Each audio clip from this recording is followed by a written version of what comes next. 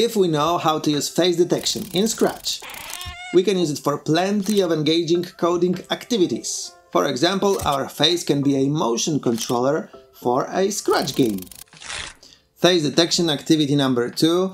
Uh, once again, we are in Scratch Lab app. We use face sensing extension for this version of Scratch.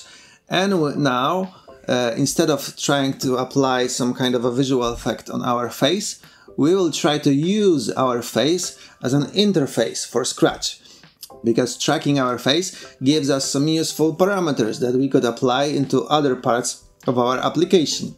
For example, we have such parameters as face tilt. This is the angle that our face is uh, tilt to. And we have the parameter of face size. So if my face is further from the camera or if, if it is closer, then the face size changes and these parameters could be used to control our sprite and then furthermore control, uh, for example, some kind of a game that we made in Scratch. Let's simply try to rotate the cat. The same way as we rotate our face is very easy. I just have to uh, take the forever loop and the rotation motion, point in direction, and then instead of an angle, I put this face tilt block over here. I just add the green flag on top and start the script and look, the cat turns exactly the same way as my head. And in the same way I, I could apply my face size to the size of this cat sprite. So if I take looks and change set size to face size, the cat size will change accordingly to the size of my face in the camera. But the face tilt parameter and the face size are just plain numbers, so I could control any parameter of, uh, of this sprite with my head. For example, also the movement of the cat could, could be controlled not only by tracking my face, but also by the rotation of my face. I could go to, to motion again and use the blot set, set x2, set x2, the tilt of my face. I remove changing of the size uh, to make it more clear. And now look that turning my head controls the movement of the cat. But since my head can only rotate from the angle uh, close, a bit close to zero, I, I, cannot move my head like this, but the final uh, angle would be zero and the maximum would be um, 120, something like this, 180. And the position of the cat in the screen is like from minus 200 to 200. I would have to modify this face tilt parameter to something like Let's just simply multi multiply it. Multiply my face tilt by 2. And now the cat moves in a wider range, but only on the on the second half of the of the screen. If I wanted to move in the whole uh, area of the screen, I have to move it until the minus 200. So I have to also divided by 90 degrees from the face tilt and multiply it by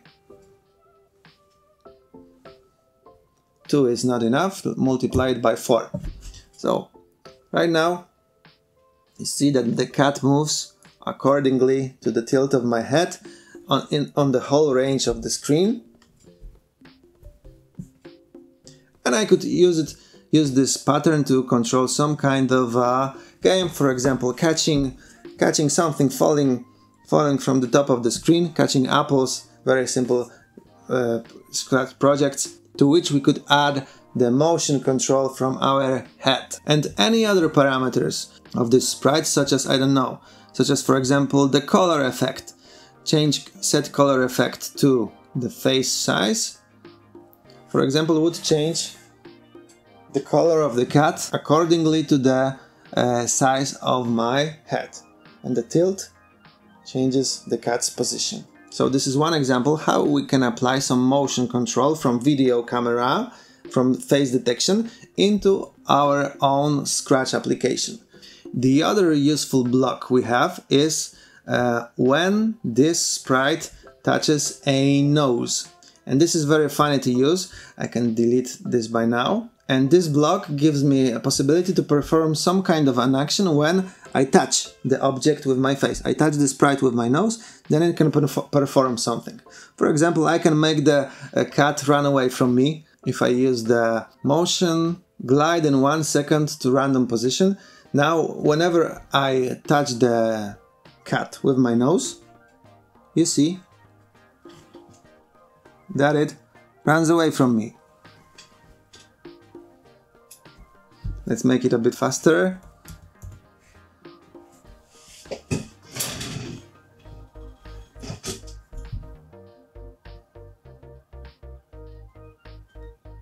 To give it some more action, let's add some sounds to it, like the famous meow sound from Scratch.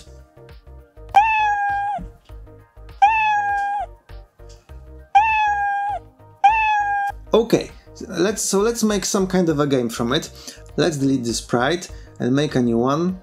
For example, let's use the balloon.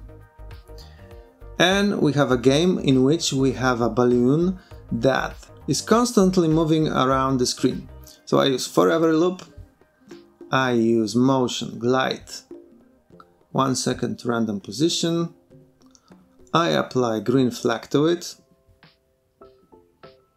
and let's start it.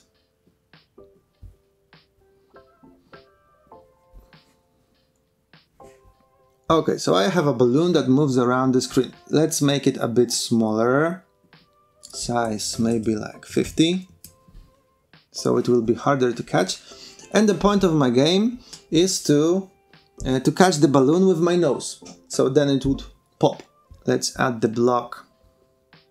When this sprite touches a nose. Then let's play a sound pop.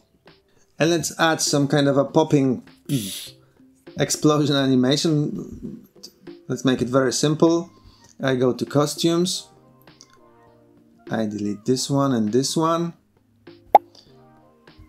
Let's add a new one.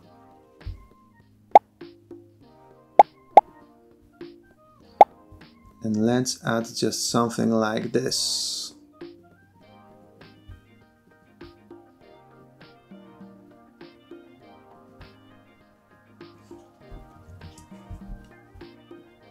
Like simple drawing of an explosion, sunny explosion.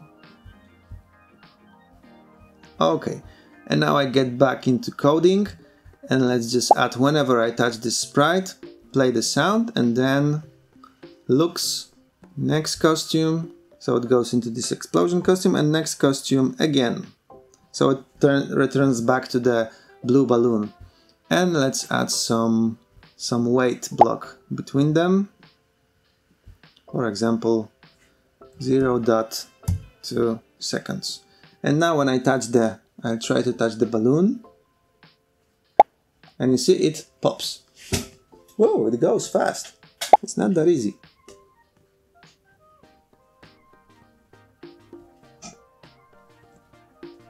I'll make it a bit bigger for the sake of this uh, for, for this tutorial so I can catch it.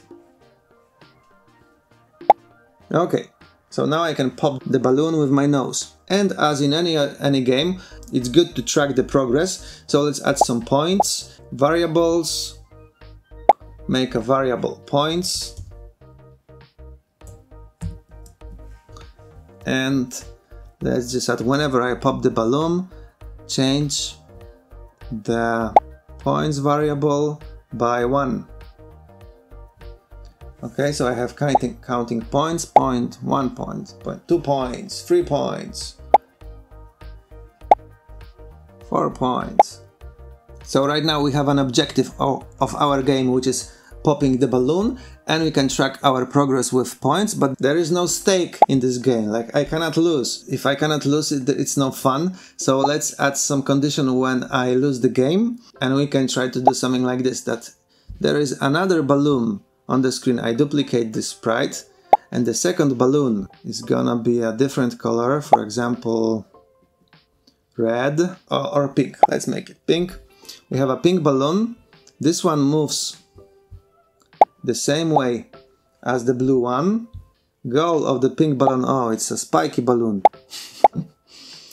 uh, the goal of the pink balloon is that I cannot touch it. Whenever I touch the pink balloon, I lose the game, I lose the points. So, uh, I have to catch the blue balloon, but avoid the pink one. So I have to modify the script of the blue of the pink balloon that whenever the sprite touches the pink balloon, the points don't change by one, but they are set to zero. I lose all the points when I touch the pink balloon.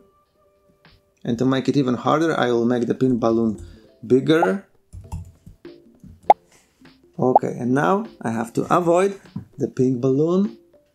Woo! And catch the blue one.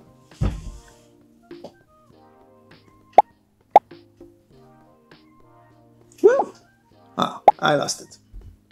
Okay, so in this activity we used our face face detection uh, algorithm to track our face and instead of applying some face filter to it, we used our face as an interface to our game, to our Scratch application.